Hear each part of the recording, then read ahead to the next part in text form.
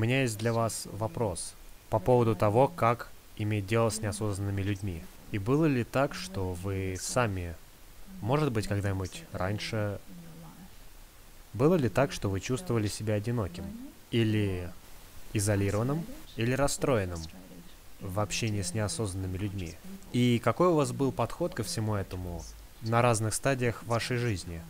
Ясно. Да. Спасибо.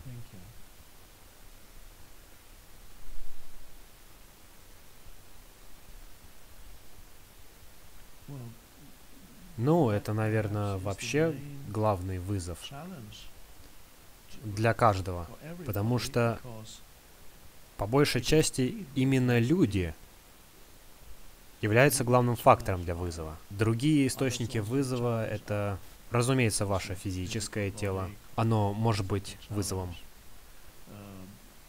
Это могут быть и вызовы, связанные с финансами,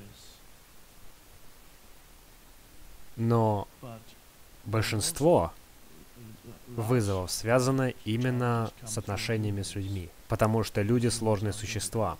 Многие люди до сих пор находятся в плену у своего эго.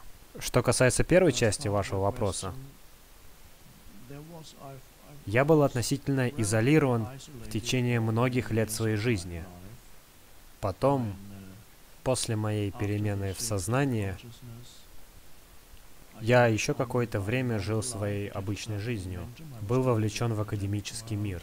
А потом, где-то через 3-4 года, мне пришлось закончить с академической деятельностью, я оставил это позади себя. А после этого, еще несколько лет своей жизни я не был связан с этим миром, в привычном смысле этого слова. У меня не было определенной работы, никаких отношений, никаких близких отношений. И я проводил многие-многие дни, недели, месяцы, встречаясь не с таким уж большим количеством людей. И постепенно люди стали приходить, приходить за советами.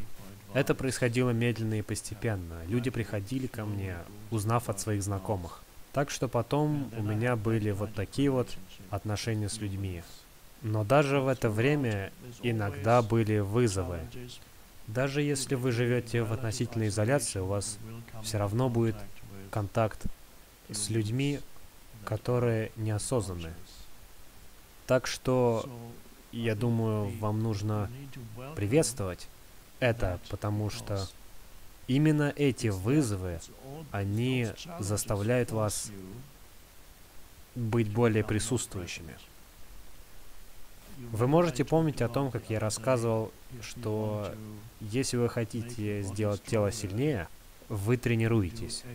Вы делаете для этого разные упражнения. Ведь что такое физическое упражнение? Фактически это усложнение жизни вашему телу.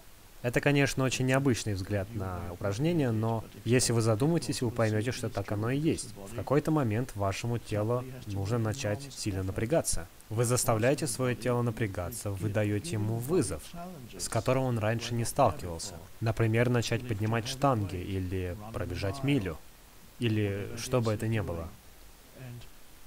И именно через этот вызов, преодолевая зону комфорта, тело становится сильнее. И в случае с э, духовным развитием нам нужны все эти неосознанные люди, которые будут нас проверять, бросать нам вызов. В ином случае присутствие не будет усиливаться, и оно не возникнет. Так что первая вещь, которую нам нужно сделать, и которой я тоже научился, это рассматривать этих неосознанных людей как благо, так что вместо того, чтобы думать, что тебя здесь не должно быть, потому что ты портишь мне жизнь, несмотря на то, что вам нежелательно находиться именно с этим человеком в это время и в этой точке пространства, вы все же можете приветствовать их, когда они усложняют вам жизнь. Однако, все же очень важно, чтобы люди неосознанные люди сами не утаскивали вас в свою неосознанность.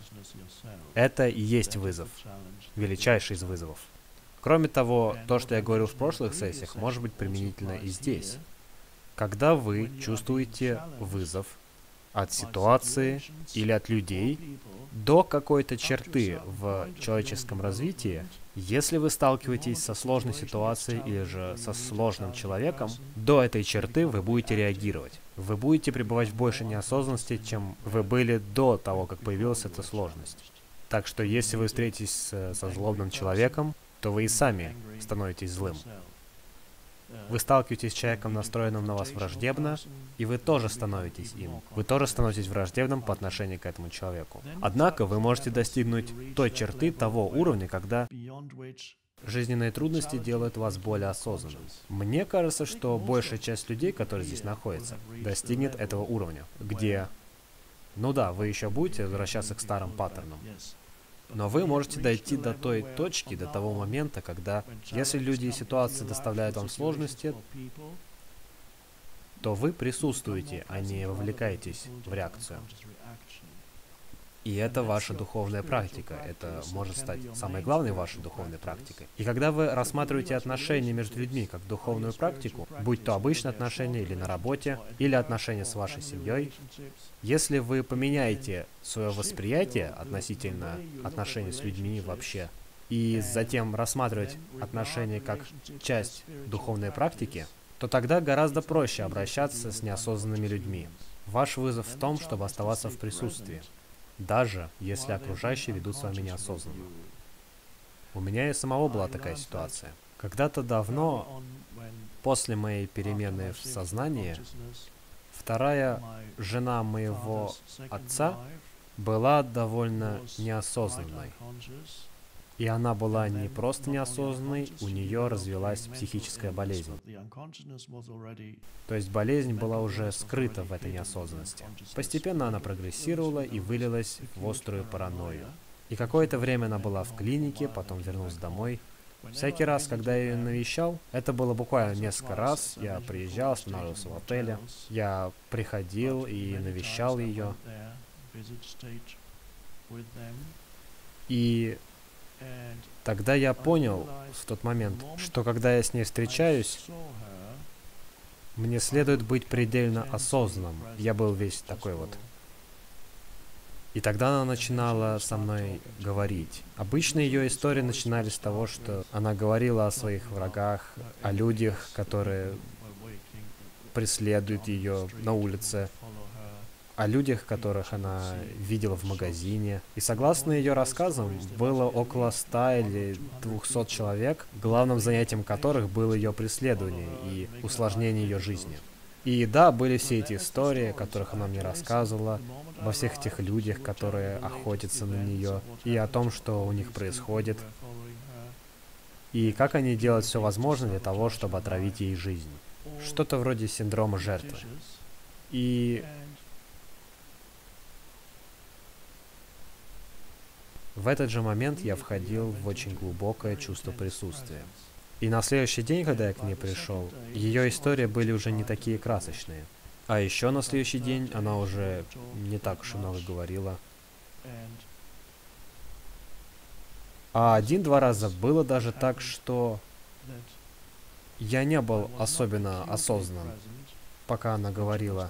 И сразу же после этого все ее старые истории появлялись опять. Она и меня даже стала подозревать. А зачем вы на самом деле ко мне пришли? Что вам нужно от меня? Я заметил, что мое сознание имело эффект на ее состояние сознания. Так что в данном случае это был очень наглядный пример. И она казалась более здоровой, пока я там находился.